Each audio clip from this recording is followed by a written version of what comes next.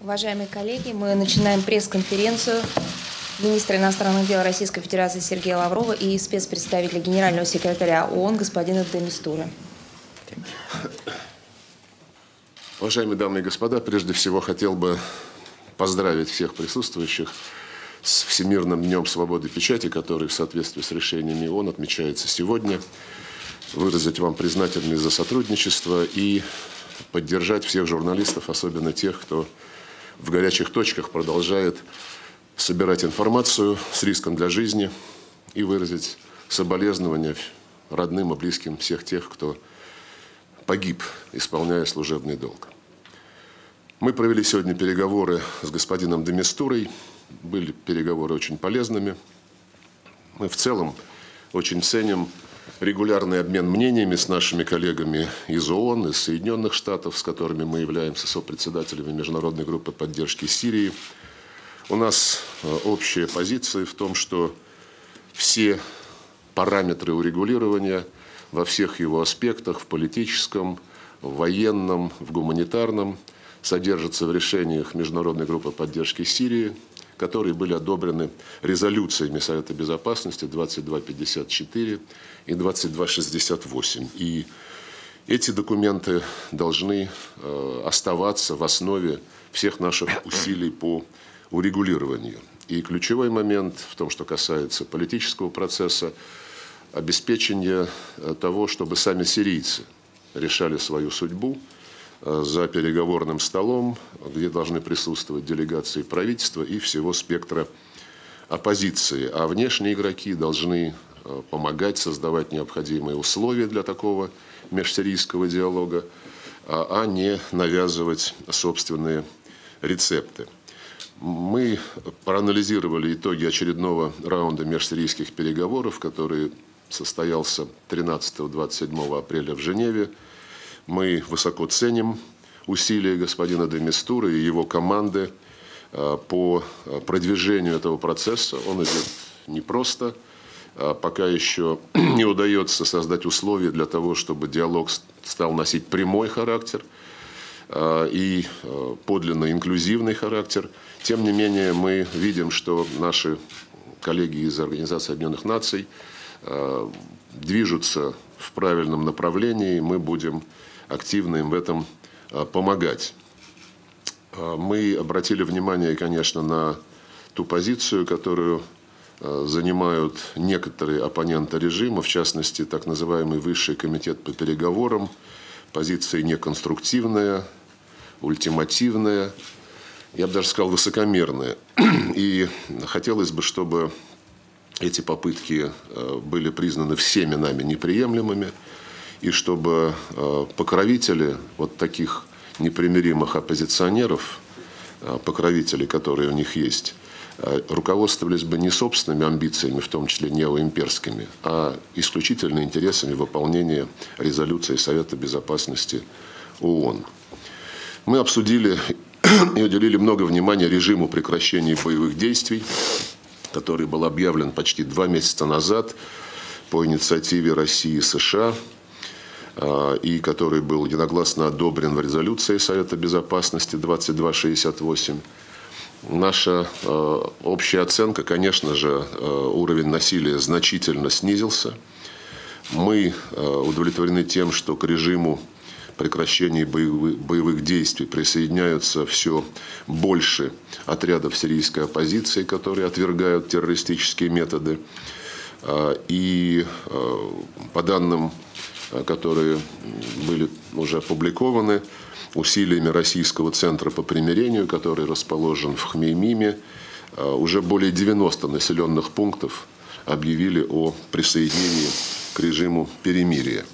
И, конечно же, хватает еще пока отдельных группировок, которые хотели бы расшатать режим прекращения боевых действий, спровоцировать эскалацию. Этого нельзя им позволить на то, чтобы именно так развивались события, на то, чтобы расширялось количество а, участников режима прекращения боевых действий, и чтобы этот режим расширялся а, и консолидировался. На это направлены наши а, усилия совместно с американскими партнерами. Развивается сотрудничество по военной линии. Военные двух стран находятся буквально в режиме ежедневных контактов. И это взаимодействие, которое сейчас осуществляется путем видеоконференций, приобретает прямой характер с созданием в самые ближайшие дни в Женеве совместного российско-американского центра оперативного реагирования на нарушение режима прекращения огня.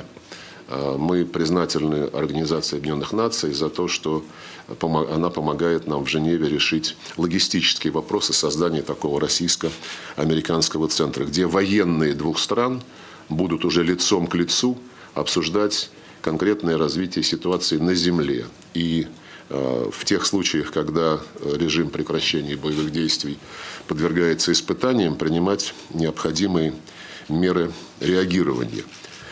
А, благодаря усилиям военных двух стран, как вы знаете, вот в эти дни а, было объявлено прекращение огня в Латакии и Восточной Гути на несколько дней, но наша общая цель и наших американцев, и ионовцев, чтобы продлить а, этот, этот режим, в идеале сделать его бессрочным, и сейчас завершается согласование между российскими и американскими военными объявление о прекращении огня в городе Алеппо.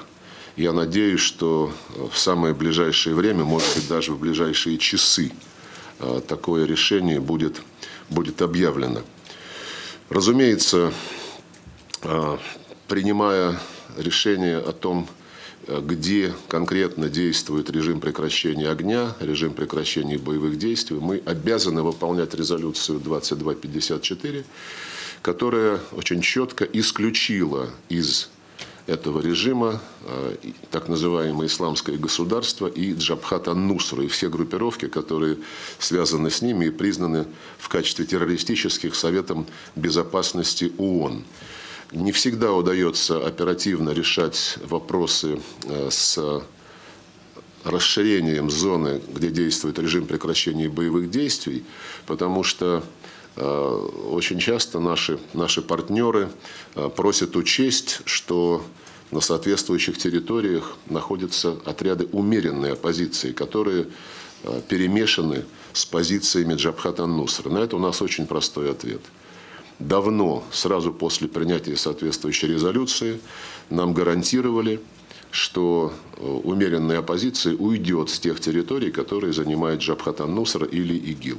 Этого, к сожалению, до сих пор не сделано. Это является одной из главных тем, которые мы обсуждаем с нашими американскими коллегами и призываем их выполнить дававшиеся на этот счет обещания.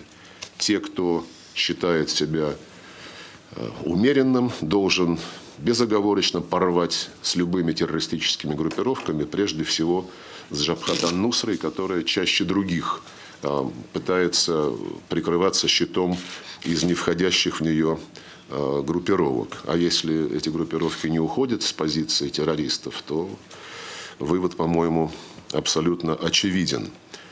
А, мы также подчеркнули необходимость перекрытия каналов подпитки террористов вооружениями, боевиками. И в этой связи э, Россия считает все более актуальной задачей перекрытие э, турецкой границы, через которую такой транзит идет весьма и весьма активно.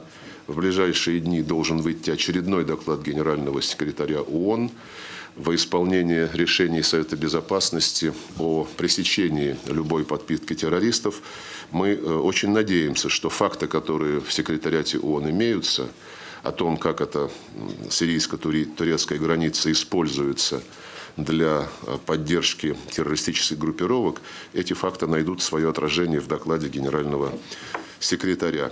Россию, конечно же, беспокоит э, и не только нас одних действия турецкой стороны по обстрелу сирийской территории, продолжающиеся требования создавать в Сирии некие зоны безопасности, а, не говоря уже о все чаще раздающихся призывах готовить наземную операцию.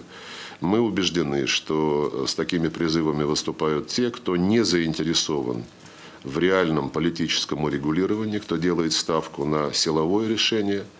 Мы убеждены, что это путь к очень катастрофическому развитию обстановки, и подобные призывы должны пресекаться. И э, тревожит также, что те, кто с такими призывами выступают, пытаются оправдать их э, якобы тем, что режим прекращения боевых действий не работает.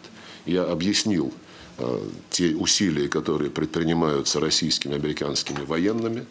Прогресс налицо, но для того, чтобы этот режим работал и был Э, всеохватывающим, еще раз подчеркну, наши партнеры должны сделать все, чтобы убрать умеренных оппозиционеров, которые полагаются на зарубежную поддержку, с тех позиций, э, которые занимают э, террористы. Мы также сегодня подробно обсудили задачи, которые стоят перед нами в гуманитарной сфере, вопросы, связанные с расширением гуманитарного доступа в различные заблокированные районы Сирии. А, для этого необходимо, а, здесь тоже есть продвижение вперед, но а, ясно, что требуется гораздо большего. И мы понимаем необходимость работать и с оппозицией, и с правительством Сирийской Арабской Республики, чтобы здесь мы видели больше, больше позитивных перемен. В целом, думаю, что сегодняшняя встреча позволила нам лучше понять, как подготовиться к дальнейшим шагам, э, включая следующий раунд переговоров, включая и вопросы, которые рассматриваются международной группой поддержки Сирии. Мы признательны господину Демистуре, его коллегам за их визит э, сюда и за очень содержательную беседу. Мы будем продолжать э, тесно сотрудничать и координировать наши действия.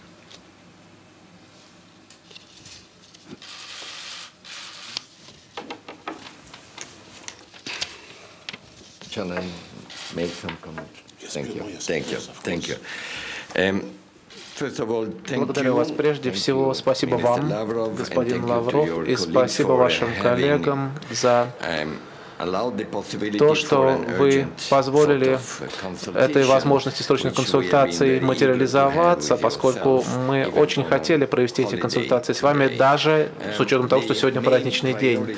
Главный приоритет, главная причина того, почему я приехал сюда, было, была возможность обсудить с Российской Федерацией, с ее властями, то срочное чувство, что нынешние достижения не должны быть достигнуты впустую впустую, и мы должны строиться на них и двигаться вперед. И опасность того, что мы придем к ничему, присутствовала. Вот почему я взял на себя смелость привлечь внимание в Совбезе э, основных спонсоров, то есть э, сопредседателей Российской Федерации и США, э, привлечь их внимание к тому, что сейчас режим прекращения боевых действий находится в опасности. В марте мы смогли провести э, очень практические совместные дискуссии.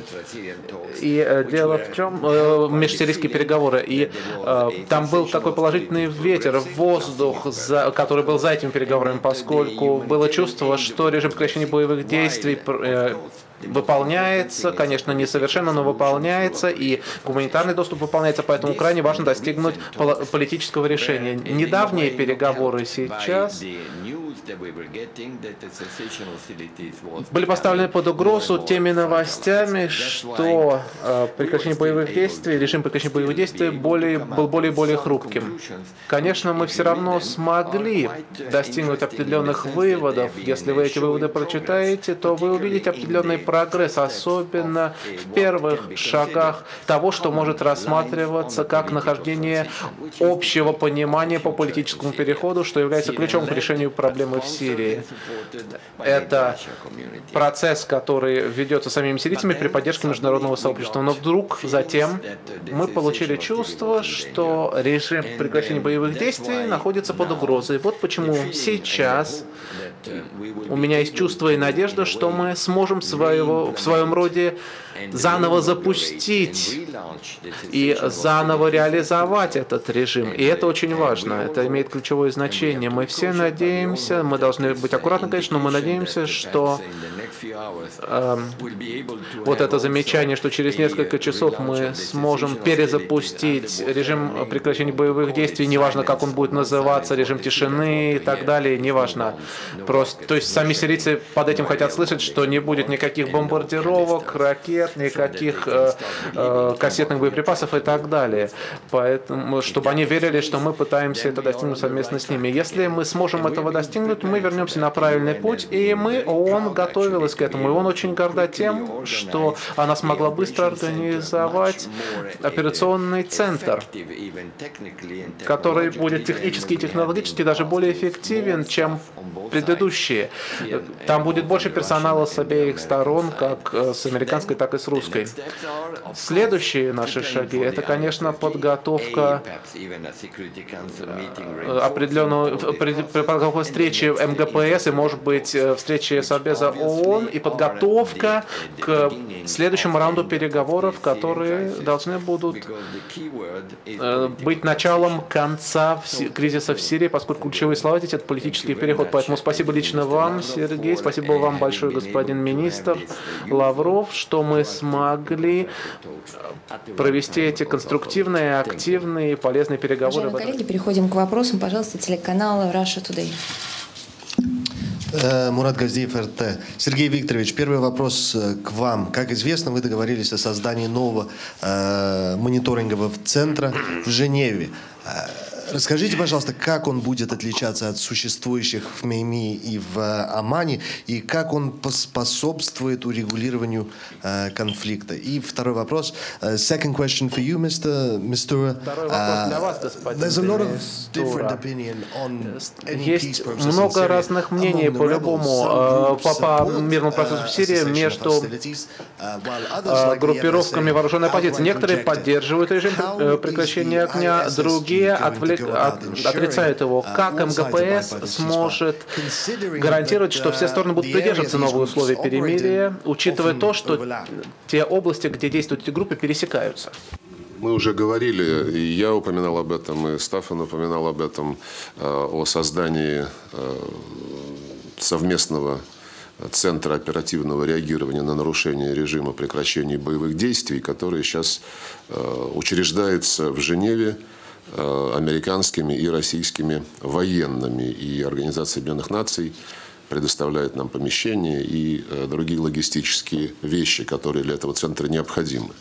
Э, что будет нового созданием этого центра, я думаю, гораздо более эффективный повседневный обмен информацией, оценками и повседневная же выработка мер реагирования – в отличие от нынешних контактов, которые осуществляются дистанционно по, через видеоконференции между Хмеймимом и Амманом, и лишь пару раз руководители этих двух центров лично встречались, э, теперь будет постоянно действующий совместный центр, где российские, американские военные, другие специалисты будут э, за одним столом, глядя друг на друга, э, показывая друг другу соответствующие карты, внося конкретные предложения, будут смотреть, как сделать так, чтобы нарушения, которые сохраняются, э, вот нарушения режима прекращения боевых действий, чтобы они э, пресекались. Я думаю, что это очень большой, качественный шаг вперед э, в более интенсивной координации российской стороны с американской, ну и в целом с возглавляемой Соединенными Штатами антитеррористической коалицией.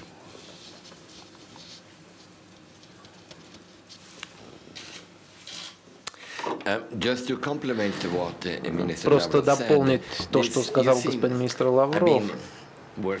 Я работал в ООН много лет, 45 уже лет.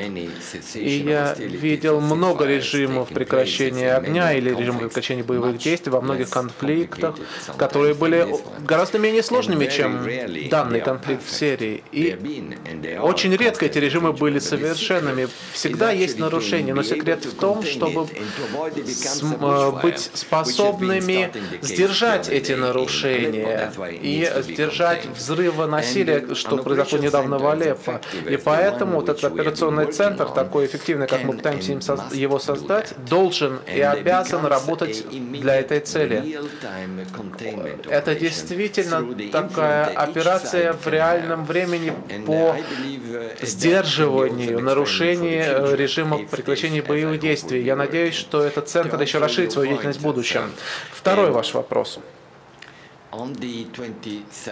27 февраля было то, что многие сочли просто чудом, поскольку после пятилетнего конфликта никто не ожидал, что простым решением России и США, конечно, в консультации с их собственными партнерами и людьми в тех странах, которые они знают, будут объявлены правила игры по статусу прекращения боевых действий. Но это случилось. И этого достигли МГПС и Совбез ООН, приняв четкие правила, которые до сих пор, естественно, применяются. Вот ответ на ваш второй вопрос. Поскольку любой, э, кто хочет быть частью режима прекращения боевых действий, должен читать эти правила и применять их. Спасибо. Добавлю, что абсолютно согласен со Стафаном, а те, кто не согласен с этими правилами, они являются законной целью, потому что так решил Совет Безопасности ООН. Пожалуйста, следующий вопрос. Агентство ТАСС. Дарья Морозова, информагентство ТАСС. А вопрос Сергею Викторовичу. Сегодня по итогам встречи, считаете ли вы, что сложились условия для проведения встречи межсирийской, э, международной группы поддержки Сирии? И второй вопрос господину Стафану Демистуре. А, с учетом проведенных консультаций в Женеве с господином Керри и Сергеем Викторовичем сегодня, а, когда вы рассчитываете возобновить межсирийские переговоры? Спасибо. Что касается дальнейшей работы Международной группы поддержки Сирии, то э, да, мы не исключаем э, ее проведения э, где-то в обозримом будущем. Э, но исходя, конечно же, из того, что мы не будем э, изобретать каких-то новых схем урегулирования, потому что все параметры дорожной карты уже согласованы и одобрены Советом Безопасности ООН. Это касается и режима прекращения боевых действий, о чем мы уже подробно сегодня говорили.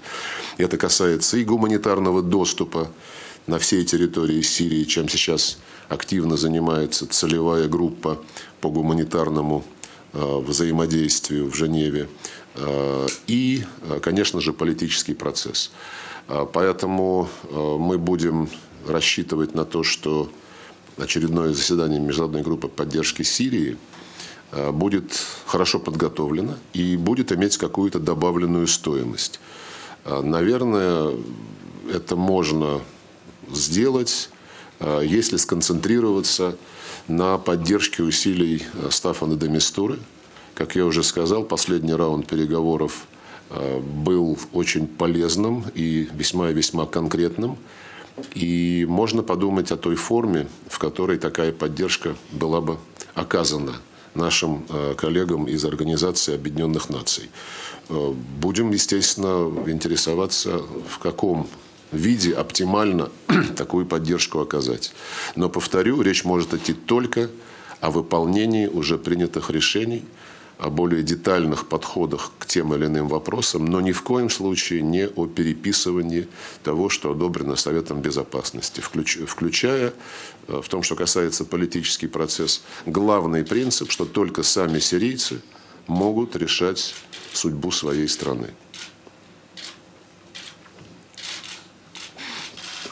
Um, Май будет очень важным месяцем для Сирии и для всех нас. Uh, Если, как мы все надеемся, будет определенный uh, вид подтверждения того, что даже Алеппо вернется к режиму прекращения боевых действий, uh, то все мы можем представить, что в то же самое время мы возобновим переговоры и будем продвигать э, еще и гуманитарный доступ, поскольку все это взаимосвязано. Ничто не является условием для чего-то другого, но все это взаимосвязанный процесс. И, может быть, у нас могут быть даже технические встречи, которые уже доказали свою эффективность, Сергей, когда они проходили в Женеве еще где-то, по подготовке к следующим межсирийским переговорам.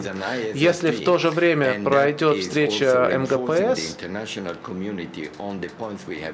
которая усилит работу международного сообщества по тем пунктам, на которые мы, о которых мы уже согласились, это может стать очень важным решением для сирийцев. И, пожалуйста, Аль-Майдин. Добрый день, салям алейкум, телеканал Аль-Майдин.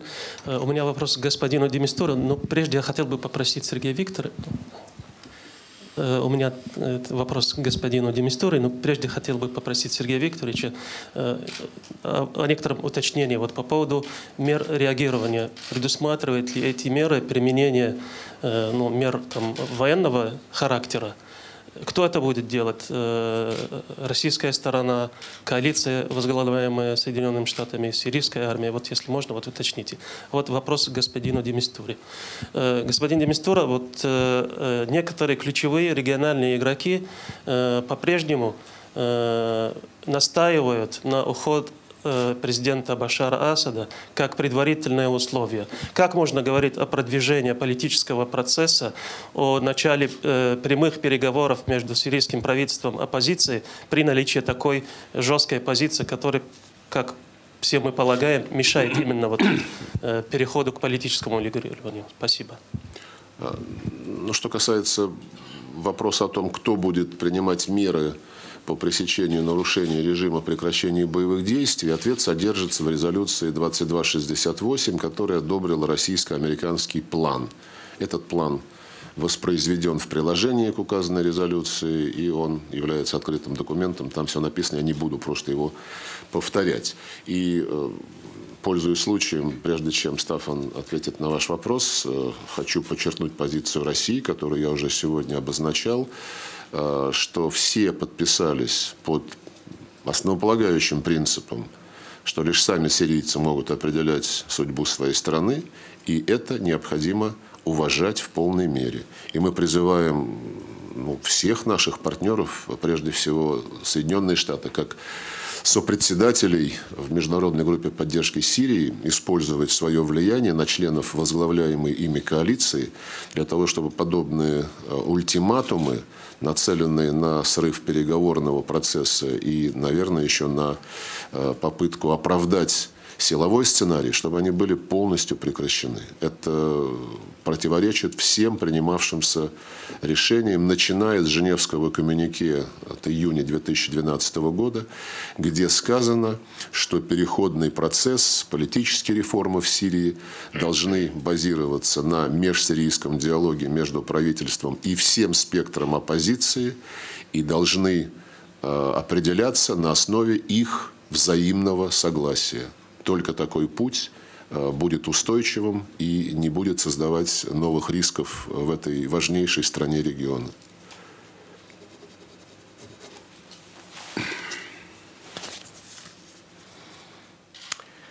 Um, I'm guided меня, для меня руководящими документами являются резолюции Совета Безопасности ООН, а в резолюциях четко прописан путь вперед. Резолюция 2254, допустим. Подумайте о нем. Посмотрите на концепт дорожной карты. Мы говорим о новом переходном управлении, согласно э, Женевскому коммюнике, новом переходном управлении, за которым пойдет в рамках этого управления новая конституция, новые выборы, как президентские, так и парламентские, под надзором ООН, включая участие определенных диаспор. И я думаю, там вполне есть пространство для политического перехода. И, честно говоря, те общие точки, которые мы смогли найти на этих дискуссиях, это как раз э, продвижение по этому пути, политический переход. Спасибо. Спасибо. Спасибо большое. На этом мы завершаем пресс-конференцию.